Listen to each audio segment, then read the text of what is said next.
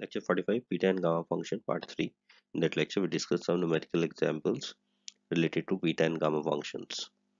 So example if you want to evaluate an integration like 0 to infinity e raised to power minus root x and the x fourth root of x dx.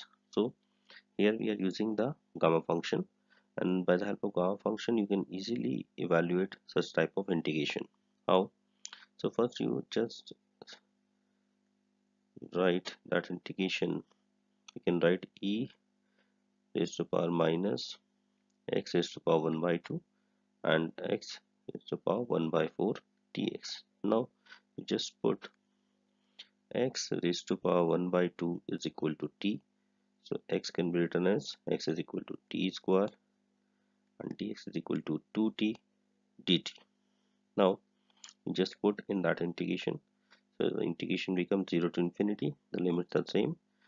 E raised to power minus t and x raised to power 1 by 4 on the place of x we put t square so we get t square 1 by 4 and in the place of dx we write 2t dt. Now the integration become e raised to power minus t and t raised to power that is 1 by 2 plus 1 so we get t raised to power 3 by 2 dt and that 2 is constant. So we write outside the integration. Now if you remember the formula of the beta gamma function so gamma function is what? Gamma n is equal to 0 to infinity e raised to power minus x and x raised to power n minus 1 dx.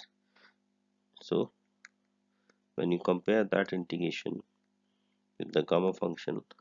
So the 3 by 2 is written as gamma sorry 5 by 2 minus 1 dt so you compare that integration so that become gamma 5 by 2 now you can easily expand 5 by 2 minus 1 we get 3 by 2 gamma 3 by 2 again 3 by 2 minus 1 that is 1 by 2 gamma 1 by 2 and gamma 1 by 2 is what? Root pi. So we get 3 by 2 root pi. So in that way we can easily evaluate such type of integration by using gamma function. One more example. Evaluate the integration 0 to infinity x raised to power 1 by 2 e raised to power minus x raised to power 1 by 3 dx. So as in as the previous example similarly we solve that example. So here the power of x is e the power of e is what? x raised to power 1 by 3 so we just put x raised to power 1 by 3 is equal to t. So in that way x can is equal to we write t cube and dx become 3t square dt. Now we just substitute in that integration. So integration become 0 to infinity x raised to power sorry t raised to power 3 by 2 into e raised to power minus t. And on the place of dx we write 3t square dt. So the integration is 0 to infinity e raised to power minus t and t raised to power 3 by 2 plus 2 we write t raised to power 5 by 2 dt and that's 3 is constant so we write 3 outside the integration. Here you see sorry we get not 5 by 2 that's in 7 by 2 7 by 2 3 by 2 plus 2 so now if you want to compare the integration with car function so you can write 0 to infinity e raised to power minus t t raised to power 9 by 2 minus 1 7 by 2 can be written as 9 by 2 minus 1 so by compare the gamma function we get 3 gamma 9 by 2 that's in value of n. And you can easily expand that 9 by 2 7 by 2 5 by 2 3 by 2 1 by 2 gamma 1 by 2 on simplify that term we get 315 by 16 and the value of gamma 1 by 2 is root pi. So value of that integration is root pi. You have to evaluate an integration 0 to infinity x raised to power c divided by c raised to power x dx. Here that c is greater than 1 so now uh, by the gamma function we can easily evaluate that integration. How? We just substitute c raised to power x is equal to e raised to power says t. Now we can write x taking log taking log both side. So we can write x log c is equal to t and log is we get base e we get t. Now x can be written as x is equal to t upon log c. Now differentiating both sides. So we write dx is equal to 1 by log c dt. That's in log c dt. Now substitute in that integration. So integration become 0 to infinity. We write c raised to power x is what? e raised to power t. x and on the place of x we write t upon log c. So we write t upon log c whole power c into 1 upon e raised to power t. And on the place of dx we write 1 upon log c dt. So that integral we write 0 to infinity and t raised to power c log c raised to power c plus 1 into that e raised to power t we take in the numerator and we write e raised to power minus t dt so here we get 1 upon log c whole power c plus 1 0 to infinity e raised to power minus t t raised to power c dt. Now here you see we can write that c that c 1 upon log c raised to power c plus 1 integration 0 to infinity e raised to power minus t raised to power c plus 1 minus 1 dt so what we get? We get that's in constant term log c raised to power c plus 1 and it become gamma c plus 1 if you compare that integration with gamma function so the value of n is what? C plus 1 so in that way we can evaluate that integration next example we have to evaluate an integration 0 to 1 x raised to power 4 1 minus root x whole power 5 dx. So here uh, we use the beta function. If you remember the beta function beta mn is equal to 0 to 1 x raised to power m minus 1 1 minus x raised to power n minus 1 dx. Now so first we convert that root x we take or we say putting root x is equal to t. So x is equal to t square dx is equal to 2t dt. Now the integration becomes 0 to 1 t square whole power 4 1 minus t power 5 2t dt. Or that integration is done 0 to 1 that 2 is constant so take out the integration.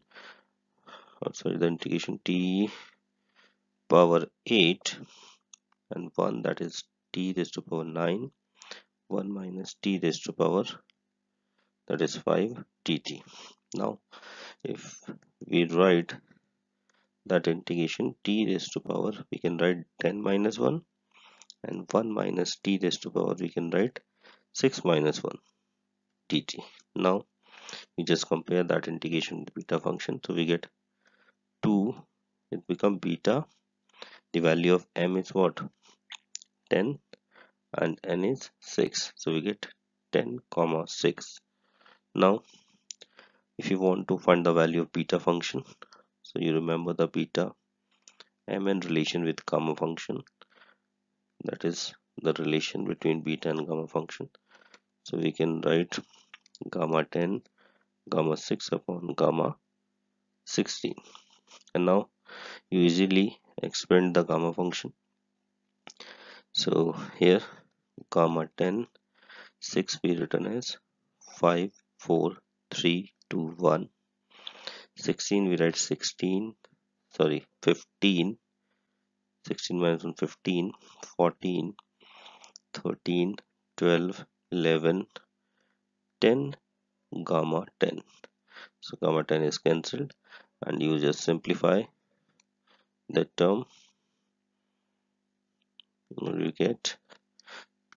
We get 1 by 15015 so in that way by using beta function we evaluate that integration. So next, next example show that the integration 0 to pi by 2 root cot theta d theta we get 1 by 2 gamma 1 by 4 gamma 3 by 4 so here the given integration 0 to pi by 2 and cot theta we can write root cos theta upon sine theta d theta. Now we also write pi by 2 cos theta whole power 1 by 2 and sine theta whole power minus 1 by 2 d theta.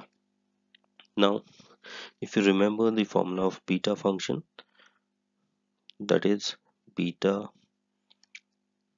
mn, we write 2 times 0 to pi by 2 sine 2m minus 1 theta cos 2n minus 1 theta d theta. So we write beta mn so here you just compare that integration with this. So here you if you compare the power of sine theta is 1 by minus 1 by 2 here you get 2m minus 1 so we can say 2m minus 1 is equal to minus 1 by 2 and we get the value of m is what? Uh, 1 by 4 and 2n minus 1 the power of cos theta. Here we get 1 by 2 and the value of n is 3 by 4 so we can say we write that integration the value of that integral we write beta m and n and because here the value of that integration is multiple of 2 so we write that 2 in the denominator. So we write 1 by 2 beta 1 by 4 3 by 4 now we just evaluate that and how we write the beta mn with the relation of gamma function. We write gamma 1 by 4 gamma 3 by 4 upon gamma 1 by 4 plus 3 by 4 so we get 1 by 2 that become 1 we get 1 by 4 comma 3 by 4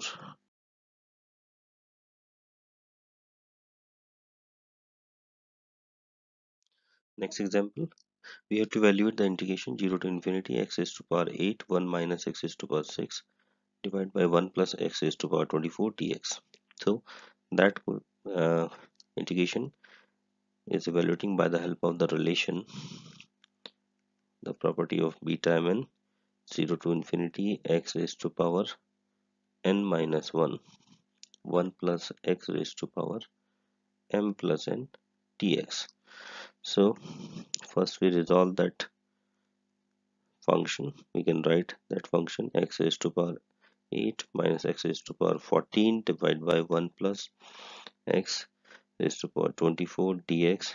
Now separate the both terms. 0 to infinity x raised to power 8 1 plus x raised to power 24 dx.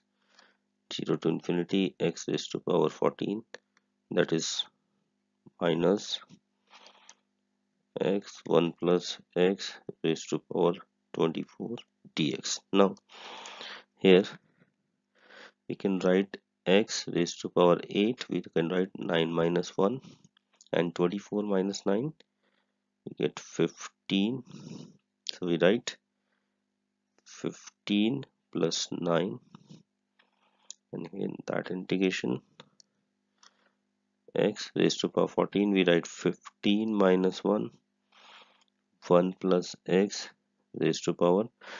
24 minus 15 we get 9 15 plus 9 dx.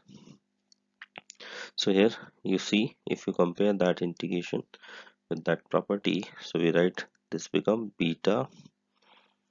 The value of m is what? 15 and 9 minus beta this become 9 and 15 and you know the integration. Sorry you just write that is 9 and then 15 so we get 9 15 now beta mn is what? The property of beta function. Beta mn is equal to beta nm. Means beta function is symmetric. So what we get? We get 0 so the value of that integration become 0